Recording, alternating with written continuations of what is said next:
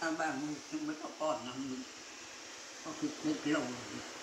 phan thị nguyệt mà mà mà chồng là anh trấn là mình là anh trấn là bà nội anh trấn nhà mình mà, mẹ gọi bằng ho, mà này gọi bằng bạc chị chị gái ông phúc.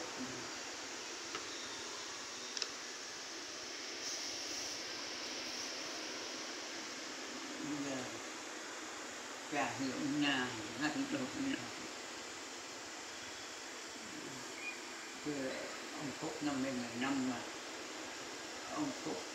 phúc lộc hư tần tấn. Phúc, phúc là ông ông ngoại lộc sinh ra sau này vợ trong thư thư là ông thư sinh ra